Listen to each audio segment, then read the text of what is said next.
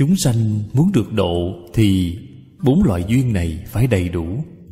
Trên Kinh Đại Thừa nói duyên có bốn loại Thân nhân duyên, sở duyên duyên Vô gián duyên, tăng thượng duyên. Có thể thấy chúng sanh muốn được độ Thì bốn duyên này phải đầy đủ.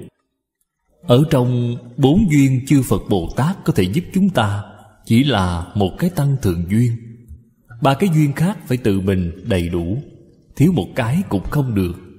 Thân nhân duyên là đã có. Thân nhân duyên là gì vậy? Chân như bổn tánh. Cũng chính là trên kinh nói, Tất cả chúng sanh đều có Phật tánh. Phật tánh là thân nhân duyên làm Phật của chúng ta. Cái này không có vấn đề rồi.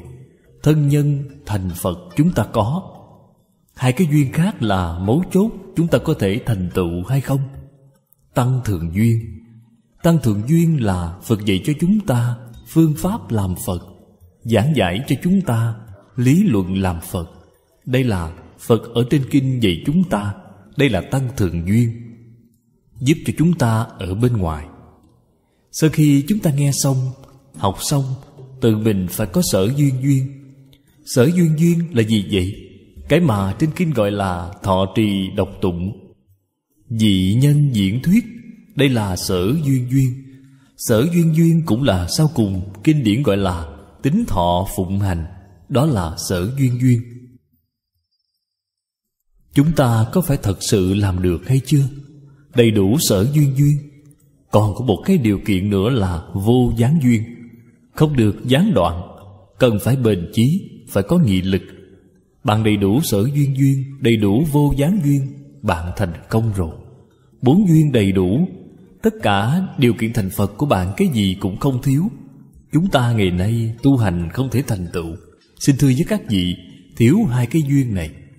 Thân nhân duyên đã có, Đây là trên lý luận có, Không có vấn đề. Tăng thượng duyên có, Chúng ta nghe kinh, Nghe Pháp, Đọc kinh, Niệm Phật. Là thiếu cái gì vậy? Sở duyên duyên không có. Chỗ mà chúng ta duyên theo vẫn là Duyên theo ngũ dục lục trần. Vẫn là duyên theo thị phi nhân ngã, Làm những việc này. Không có duyên theo Phật Pháp, Cho nên chúng ta sở duyên duyên không có, Vô gián duyên không có. Vô gián duyên là không gián đoạn. Chúng ta mỗi ngày niệm Phật tu hành, hai giờ đồng hồ là tốt rồi, Vẫn còn 22 giờ gián đoạn. Cho nên bạn không thể thành tựu. Chúng ta ngày nay không thể thành tựu là ở trên hai duyên này có vấn đề. Nếu như trên hai cái duyên này mọi người thật sự nắm vững. Không có vấn đề thì đâu có đạo lý, không thành tựu chứ.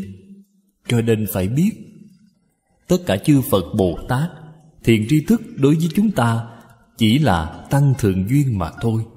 Chúng ta ngày nay Niệm Phật, giảng sanh thế giới Tây Phương cực lạc, Bất tối thành Phật. Cái mà Phật A-di-đà, Tất cả chư Phật gia trì chúng ta, Cho chúng ta là gì vậy? Tăng thượng duyên mà thôi. Cũng là tăng thượng duyên. Thế giới Tây Phương cực lạc, A-di-đà Phật là do ở trong tự tánh chúng ta biến hiện. Đây là chúng ta đầy đủ thân nhân duyên. Tự tánh di đà Duy tâm tịnh độ, Đây là ở trong tự tánh có. Đây là thân nhân. Chúng ta đã có phần. Chúng ta có thể giảng sanh hay không vậy? Vẫn là ở hai duyên này. Có thành thật niệm Phật hay không? Bí quyết niệm Phật là không hoài nghi. Không xen tạp Đó là sở duyên duyên. Không gián đoạn Đó là vô gián duyên. Bạn có thể thật sự làm được Không hoài nghi, không xen tạp, không gián đoạn thì quyết định sẽ giảng sanh. Vì sao vậy? Bốn duyên đã đầy đủ rồi. Lý sự đều làm rõ ràng thì chúng ta có phần nắm chắc. Giảng sanh thật sự có phần nắm chắc rồi. Không những có phần nắm chắc muốn đi lúc nào là có thể đi lúc đó bạn nói tự tại biết bao. Bạn nói cái này tự tại biết bao vậy? Phật độ chúng sanh chỉ chẳng qua làm tăng thường duyên cho chúng sanh. Chúng ta từ trên bốn duyên nói sẽ rõ ràng hơn, sáng tỏ hơn. Phải phát đại tâm, phải phát đại hạnh. Đây gọi là sở duyên duyên. Đây đều là ở trong sở duyên duyên. Nếu như bản thân không phát tâm, không chịu thọ trì Cho dù Phật Bồ Tát đích thân đến giảng kinh thuyết pháp cho bạn Cũng không có tác dụng gì. Vì bạn không chịu làm. Thì cố chúng sanh đắc độ, Thực chúng sanh tự độ nhỉ Lời nói này nói có đạo lý. Chúng sanh được độ Thật sự là tự mình thọ trì đọc tụng Dị nhân diễn thuyết, Là tự mình độ chính mình. Phật chỉ là ở bên ngoài giúp đỡ mà thôi. Cho dù pháp môn tịnh độ, Đây là pháp môn đặc biệt. Pháp môn nhị lực. Phật đến giúp đỡ, Lâm chung Phật đến tiếp dẫn. Nói thật ra là bởi vì bạn tính thật Nguyện thật, hạnh thật. Hạnh thật chính là thành thật niệm Phật.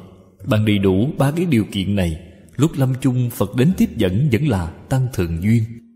Từ đó cho thấy Thân nhân duyên, sở duyên duyên Vô gián duyên Vẫn là tự mình đầy đủ.